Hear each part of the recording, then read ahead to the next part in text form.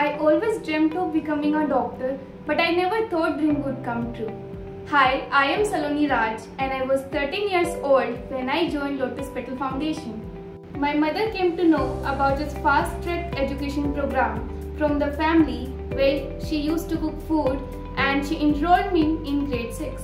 This was my chance to study and I give my best to attend the school regularly. My mother used to work in nearby homes and I help with household work. I used to finish all the housework on time to ensure that I do not miss classes.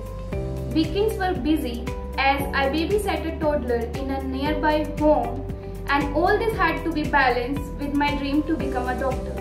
After I cleared grade 12, Lotus Petal Foundation financially supported me in getting the NEET coaching from one of the best institute in Gurgaon. I gave my medical entrance exam and I got admission in JCT Dental College. Today I am in third year of my BDS and I am determined to give my best and become a successful dental surgeon. I am going to create better future for my family and myself. Thank you.